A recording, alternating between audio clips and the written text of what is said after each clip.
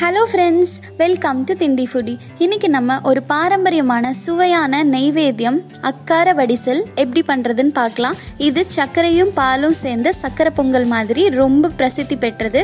இதுக்கு தேவையான பொருட்கள் பச்சரிசி ஐம்பது கிராம் ஒரு சின்ன டம்ளரில் எடுத்துக்கலாம். அதே டம்ளரில் ஒன்றரை மடங்கு சர்க்கரை எடுத்துக்கலாம். அதே டம்ளரில் பதினாறு மடங்கு பால் எடுத்துக்கலாம். Ratio one is to sixteen so இவ்வளோ பால் கொண்டு வேக போகுது ஸோ கொஞ்சம் கொஞ்சமாக பிரித்து பிரித்து பால் எடுத்துக்கலாம். சூடான பாலில் குங்குமப்பூ போட்டு ரெடியாக எடுத்து வச்சுக்கலாம். ரெண்டு ஸ்பூன் நெய் தேவைப்படும். ஒரு நாலு ஏலக்காவை அரைச்சி பொடி பண்ணி வச்சுக்கலாம். நம்ம எடுத்து வச்ச பச்சரிசியை அரை மணி நேரம் நல்லா கழுவிட்டு தண்ணியில் ஊற வச்சுக்கணும். இப்போ அக்கார வடிசல் செய்கிற ப்ரொசீஜர் பார்க்கலாம் ஒரு கடாயில் சூட பாலை சூடு பண்ணிக்கணும். கொஞ்சமான பாலை தான் ஃபஸ்ட்டு சேர்த்துருக்கோம். அது நல்லா காஞ்சு பொங்கி வரும்போது நம்ம ஃபிஃப்டி கிராம்ஸ் பச்சரிசி ஊற வச்சுருந்தோம் இல்லையா? அதை சேர்த்துடலாம். நம்ம சேர்க்குற அரிசி வந்து பால் சுண்ட சுண்ட மீதி பாலை கொஞ்சம் கொஞ்சமாக சேர்த்து பால்லையே கொதிக்கணும். இந்த அக்கார வடிசல் வந்து ரொம்ப பிரசித்தி பெற்றது. எல்லா வைஷ்ணவை டெம்பிள்லையும் இதை பிரசாதமாக கொடுப்பாங்க. ஆண்டாள் வந்து ஸ்ரீரங்கநாதரை நேசித்தாங்க அவங்கள கல்யாணம் பண்ணிக்கணுன்ட்டு நூறு பானையில் அக்கார வடிசலை படைக்கிறேன்னு சொல்லி வேண்டிக்கிட்டாங்க. ஆனால் அதை அவங்களால நிறைவேற்ற முடியல. கலியுகத்தில் ராமானுஜர் அவங்கள தங்கையாக ஏற்று அழகர் கோயிலில் அவர் அவங்க வேண்டிக்கிட்டபடியே நூறு பானையில் அக்கார வடிசலை படைச்சு நிறைவேற்றினாங்க இப்போ அந்த பால் நல்லா சுண்டி போயிடுச்சு மீதி இருக்கிற பாலை நம்ம ஆட் பண்ணிக்கலாம்.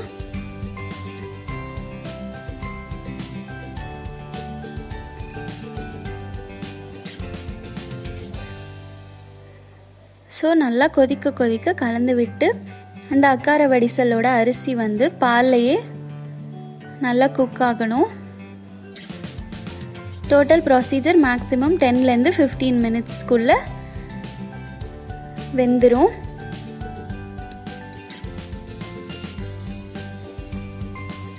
அரிசி வெந்துருச்சான்றத வந்து செக் பண்ணி பார்க்கலாம்.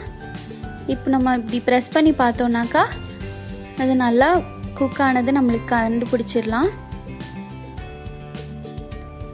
இப்போ நம்ம எடுத்து வச்ச ஒன்றரை டம்ளர் சர்க்கரையை சேர்த்துக்கலாம். சேர்த்து நல்லா கலந்துக்கலாம்.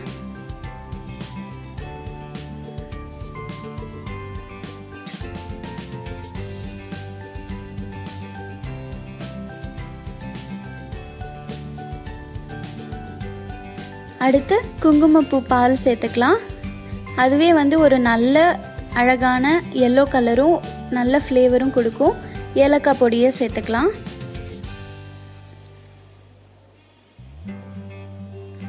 இன்னும் கலர் தேவை அப்படின்னா நம்ம எல்லோ கலர் கேசரி பொடியை சேர்த்துக்கலாம்.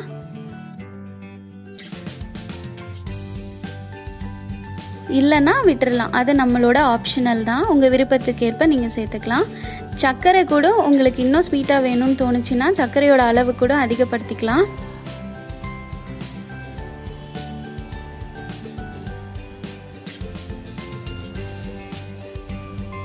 பாருங்க இப்போ ரொம்ப அழகா மனம் வந்துட்டே இருக்கு. இதுக்கு ரொம்ப நெய் தேவைப்படாது. நம்ம எடுத்து வச்ச ரெண்டு டேபிள் ஸ்பூன் நெய் சேர்த்துக்கலாம். இப்போ அடுப்பை அணைச்சிடலாம்.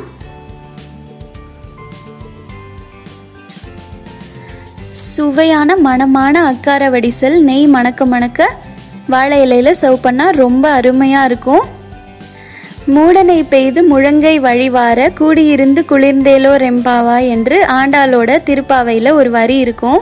அது என்னன்னா நம்ம அந்த காலத்து அக்கார வடிசல் பிரசாதம் கையில் வாங்கினோன்னா முழங்கை வரைக்கும் நெய் வந்து வழிஞ்சு வருமாமா? அவ்வளோ ஒரு ரொம்ப ரொம்ப டேஸ்டான ஒரு பிரசாதம்.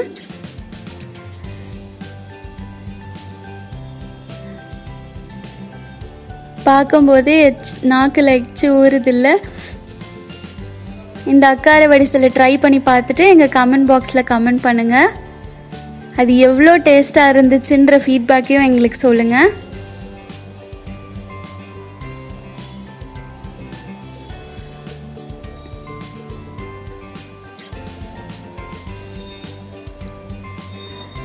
இந்த மாதிரி சுவையான பாரம்பரியமான டிஷ்ஷஸை தெரிஞ்சுக்கிறதுக்கு திண்டி ஃபுடி சேனலை சப்ஸ்கிரைப் பண்ணுங்கள் இந்த வீடியோ பிடிச்சிருந்துச்சுன்னா லைக் அண்ட் ஷேர் பண்ணுங்கள் தேங்க்யூ ஃபார் வாட்சிங்